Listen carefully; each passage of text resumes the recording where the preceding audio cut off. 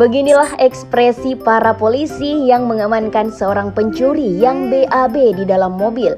Ya, momen ini mungkin tidak akan pernah dilupakan oleh aparat dari Resmo Polres Wajo.